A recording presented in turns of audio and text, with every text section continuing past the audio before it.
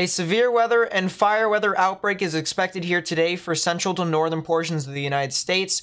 Hurricane force winds across the board is possible, as well as tornadoes and excessive wildfires. Stay tuned to the video for all the latest information on that.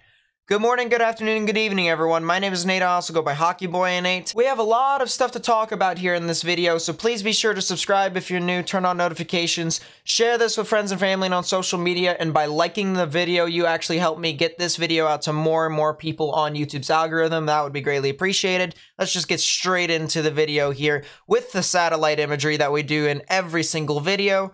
You can see that we have our low pressure system that's moving on through into portions of Utah and Colorado, creating some snow squall warnings for portions of Colorado heading towards the Denver area. So if you guys live across the Rocky Mountains, you guys could potentially be getting some significant visibility lowering from these snow squalls. So watch out for that. But upstream, you can see this massive jet stream that's starting to really skyrocket off from the south and west to the north and east. And this is what's the setup here for today. You can already see our outlook here for the day one severe weather day. We have our one out of five on the severe weather scale indicated in the dark green, our two out of five in yellow, our three out of five in orange, and then our four out of five in yellow in red. And the Storm Prediction Center really has gained a lot of confidence here with the strong damaging winds because if we take a look at the damaging wind aspect here, you can see there's a massive area of 45% chance. So we have a 5% indicated in brown, a 15 in yellow, a 30 in red, and then a 45 in pink. So whatever probability you have, that is your chance of seeing 58 mile per hour wind gusts or higher within a 25 mile radius. And we can zoom in here to see that this does include areas near Omaha, near Des Moines, near Mason City and Rochester, Minnesota, as well as La Crosse in Wisconsin. So watch out for that as this does seem to be the main risk for severe weather. But then there is also this hatch risk here. This is a significant risk for strong damaging winds over hurricane force and you can see this extends from near Omaha into Lincoln, all the way just north of Kansas City and Topeka, into places like Cedar Rapids, as well as Mankato and Minneapolis, as well as Eau Claire and Wausau. So if you live in this general area, you guys definitely need to watch out for some very strong damaging winds and in excess of hurricane force. Now we do have a tornado risk here today. Of course, the 2% is indicated in green, 5% in brown, and then a 10% in yellow. So if you guys live within these areas, that is your probability of seeing a tornado within a 25 mile radius. So you can see that does include places like Omaha, Des Moines, Carroll, all the way up into Mason City, Mankato, and Rochester, as well as La Crosse just barely excluding Sioux City, but do not be surprised if you guys could get some stuff over there as well as into Worthington. So watch out if you live within that general area as well. And we also have our significant severe risk here for tornadoes as well. So if you guys live within this general vicinity right here, you guys have a 10% chance or greater of seeing a significant tornado, which is EF2 or higher within a 25 mile radius. So watch out for that. But I don't think that the tornadoes will be the main risk here today. I do think the strong damaging winds is going to take priority over all the other risks. Seems how widespread the actual thunderstorms are expected to be. And on the other hand, let's take a look at our fire weather outlook here for today, December 15th. You can see that areas in the orange is indicated in an elevated risk, red is a critical, and then the pink with the red dotted lines is extremely critical. And so it goes from a scale of one to three in this instance. And we have a three here over portions of the western Oklahoma panhandle into southwestern and central portions of Kansas. And in my opinion, this could potentially be a very significant risk for fire weather especially with low dew points, low relative humidity, and potential hurricane force wind gusts over there in Kansas as well. And we're going to take a look at that over in the weather models. So here we are with the weather models. We're going to be using the NAM 3 kilometer for the most part within this model today, although the HRRR says very similar things except for the severe weather event where they actually think it's going to be more of a strong damaging wind event instead of the tornado threat. But we're going to be using the NAM 3 kilometer just as the worst case scenario model for today. Of course, you want to take a look at the timings. They are above me in Eastern Daylight Time. So if you're in Central, you're going to have to subtract one hour from this. And let's go ahead and play this out just to see what happens here. You can see a lot of that snow into Colorado and the general Rockies area. But then as this really starts to form here by 4 p.m. Central Standard Time, this really starts to go ahead and form a kind of consolidated line into portions of eastern Nebraska, which is where Lincoln in that Omaha general vicinity is around the Missouri River. And as we continue to push this across into Iowa, you can see it starts to impact places like Sioux City, and it'll start to approach the areas of Des Moines as well, heading off in towards the border of Iowa and Minnesota, eventually towards the general vicinity of Mankato and Rochester. So if you guys live within that general area, you guys might be getting some thunderstorms that are overnight or into the evening hours here when it's completely dark. You can see the timing above me.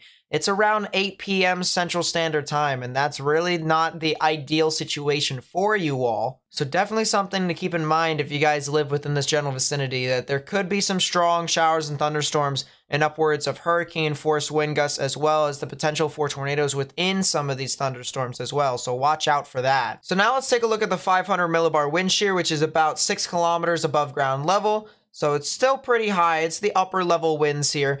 And you can see we have this massive dip in the jet stream with our low pressure system located over Colorado, as we mentioned with our satellite imagery earlier on in the video. And that giant dip in the jet stream, our trough right there, is going to continue to eject further into central portions of the United States as well as into the upper Midwest. And look at this. As soon as it gets up towards places like Iowa and Minnesota, the wind shear starts to really amplify with wind shear values in upwards of 130 knots, which is around 145 to 150 miles per hour. All right, so now we're gonna take a look at our 850 millibar low level jet, which is about one kilometer above ground level. You can see the current flow is from south to north, so we have a lot of moisture that's coming from the Gulf of Mexico that is now starting to rise towards our severe weather risk, so watch out for that. And as we play this along here, you can see that the wind shear is really going to start to amplify, especially as it starts to move over into Kansas, and that's the reason why there could be a big fire risk here there. With low relative humidity values, low dew points, as well as some very significant damaging winds that are not thunderstorm associated,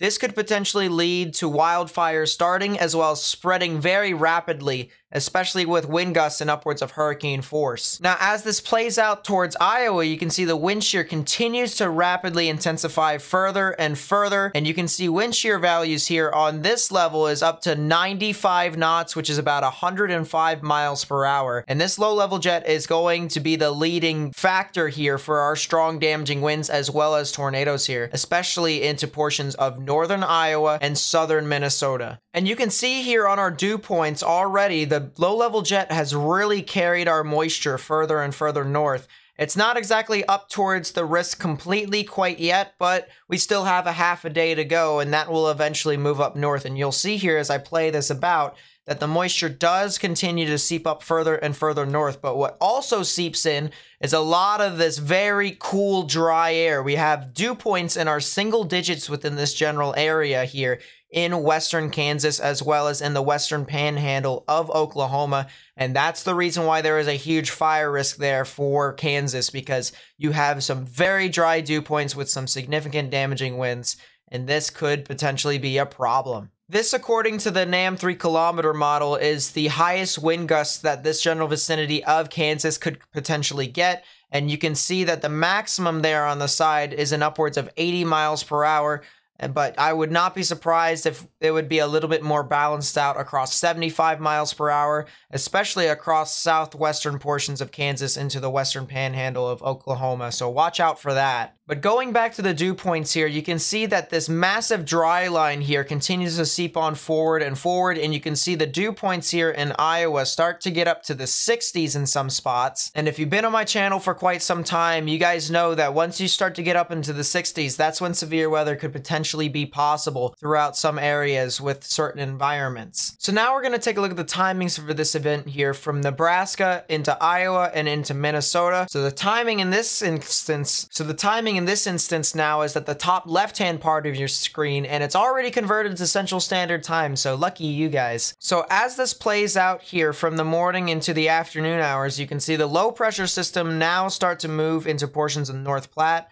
as well as into Kearney and Grand Island, and some long lines of showers and thunderstorms start to form, especially into Lincoln and into Omaha. We'll backtrack it here just a little bit. And the storms apparently start to move on through at around 4 to 5 p.m. Central Standard Time, with them approaching Omaha and Sioux City at around 6, well, 5 to 6, I should say. And then you could potentially have some residual snow showers that could seep in behind this with all the cool air that's starting to seep in with a lot of that residual moisture. Moving off towards Iowa here, you can see the line of showers and thunderstorms don't really come into view until around 5 p.m. Central Standard Time, where they approach Omaha, Nebraska and then they'll start to move on through into Denison, maybe even into Maryville, Missouri, and that'll continue to further go along towards Worthington, Minnesota, as well as into Fort Dodge and Des Moines, probably at around 7 p.m. Central Standard Time before they further move along towards Mason City, Marshalltown, as well as into the Waterloo general area. And maybe even Cedar Rapids and Iowa City also get into the action there as this continues to move further and further on towards the east. But the one thing you'll notice here is that as this does move off to the east, the definition of these showers and thunderstorms start to lose a bit of its integrity. So definitely something to make a note of if you're on the eastern portion of the risk that I showed you with the day one convective outlook. And last but not least, we have a bit of Minnesota and Wisconsin to talk about here. So as this continues to play out, you'll see how your showers and thunderstorms really start to kind of form here from Mankato all the way into Rochester at around 8 p.m. Central Standard Time. Some residual sleet and freezing rain is possible if you're north of Brookings in South Dakota and south of Fargo, and that'll continue to be the case as this continues to move about into the overnight hours with some more and more showers and thunderstorms that are expected to move on through past the Mississippi River and into Wisconsin towards Eau Claire and La Crosse. So watch out for that as this could potentially be some strong damaging winds and the potential for tornadoes in and around the line of thunderstorms. And just to watch the storm play out here, we'll watch this as this continues to eject further north and east. You can see more snow is expected to come in and fill some of the areas that just got rain. So areas north of St. Cloud into Duluth, as well as into Fort Frances, they could potentially get some residual snow, but it's not expected to be a whole lot of snow, so something to consider with that as well. So the one question that I'm sure most of you have on their minds is, will I be live streaming? And the answer is yes, but the real question is for how long, because I might have some obligations to do a little bit later on tonight, so I'll see if I can work around that. But otherwise, please stay tuned to the channel so that you guys may stay updated with when I will be live streaming because I definitely will be live streaming the beginning of the event. But stuff towards the end might be a little bit more of a difficulty if I can't work around some of the IRL issues that I have. So with that being said, thank you guys so much for watching. If you did enjoy the video, please be sure to leave a like, especially if you want to share this information with more and more people on YouTube. Subscribe if you're new, turn on notifications, share this with friends and family and on social media. Also follow me on social media. Link will be in the description down below. I also have a Discord server. If you want to join that, please be sure to join my Discord server. We have a lot of fun. We talk about weather. And I will see you guys later on today. So peace out, everyone.